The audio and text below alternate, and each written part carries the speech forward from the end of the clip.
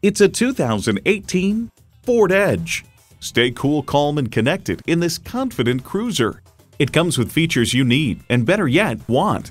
EcoBoost engine, front heated leather sports seats, Bluetooth wireless audio streaming, rear parking sensors, dual zone climate control, Apple CarPlay Android Auto, sync voice activation, hands-free liftgate, memory exterior door mirror settings, and automatic transmission.